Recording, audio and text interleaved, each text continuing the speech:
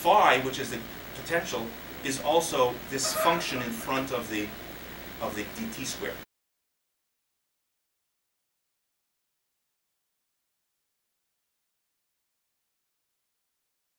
We know how to compute the Riemann curvature given the connection curvature. Now, what is the relationship between the connection and the metric? We know that the Riemann is, connect, is related to the connection in this way. Each Riemann has this structure. If you sum the Riemanns, you get this.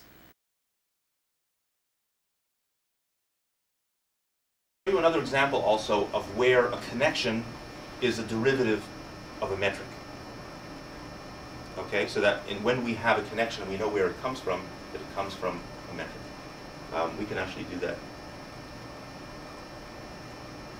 now. Then I'll go back. We know how the tidal force, tidal acceleration comes from the gravitational acceleration. How? We found a prime plus 1 over RA plus 1 over RA, for example, or, or actually um, the derivative of A gave us one element of the tidal acceleration. The product of A times 1 over R gave us another element of the tidal acceleration when we're talking about the vacuum outside a spherically symmetric source, right? So we know how to compute the tidal acceleration given the gravitational acceleration. Okay? It definitely derives from it. We know how to compute the gravitational acceleration given the potential. Okay? On this side, we know how to compute the Riemann curvature given the connection curvature. Remember, we said that um, you had a structure like this. The sum of the Riemanns was called Ricci, and it was a derivative of a connection plus 1 over r times the connection. Okay? And remember I told you that each Riemann actually has this structure. In the simple case that we chose this was one of the Riemanns, this was another Riemann, and the third Riemann was like this, and we added the three of them together. In the more general case, each Riemann will have this kind of structure. Each Riemann will have a gamma prime and a gamma times 1 over r and a gamma times 1 over r. Okay, and the Ricci will sum all of those. And you'll see an example in a minute. Okay? Now, what is the relationship between the connection and the metric? We know that the Riemann is, connect, is related to the connection in this way. Each Riemann has this structure. If you sum the Riemanns, you get this.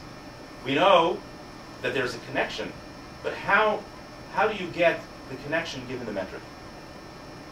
Okay, again, you have these three levels. How do you get the connection given the metric? The answer is given us by this formula. A is equal to minus grad phi. This is the connection. This is the metric. So in other words, basically the connection is something like the derivative of the metric. Okay, if we take this analogy of gravity seriously, we'll say that we'll expect naively, at least in this simple case of vacuum outside spherical symmetry, the equivalent of this gravity equation in flat space, A is equal to grad phi, will be the space-time equivalent of A, which is gamma, the connection, equals the gradient or derivative of the space-time equivalent of the potential, which is G prime. Okay? Now we can substitute in this equation of gamma prime plus 1 over r gamma, now that we know that the gammas are G primes, we can already substitute in here. We have G prime substituted in here becomes G double prime. G prime substituted here becomes 1 over r times G.